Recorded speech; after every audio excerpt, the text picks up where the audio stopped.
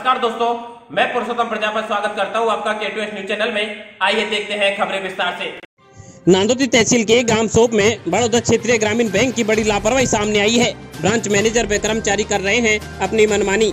दस बज के पंद्रह मिनट के बाद भी नहीं खुलती बैंक। ग्रामीणों को कई देर तक करना पड़ता है इंतज़ार। क्या बैंक कर्मचारी ऐसे ही मनमानी करते रहेंगे? क्या ग्रामीण ऐसे ही परेशान होते रहेंगे? क्या प्रशासन ऐसे कर्मचारियों पर कभी कार्रवाई कर पाएगा? ये तो भक्ति तय करेगा। आइए देखते हैं संवाददाता की एक रिपोर्ट। गरीब नकल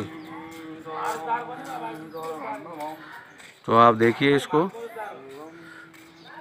ये सोप की बड़ौदा राजस्थान क्षेत्रीय ग्रामीण बैंक। हाँ ये ले।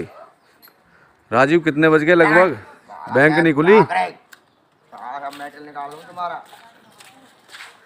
ये देखिए। ग्राहक जब पूछते थे, मनमानी करते हैं, यहाँ पर अभी तक लॉक भी नहीं खुला है। ये रोज़ाना का दिन का काम है, किस दिन बारह बजे, किस दिन एक बजे।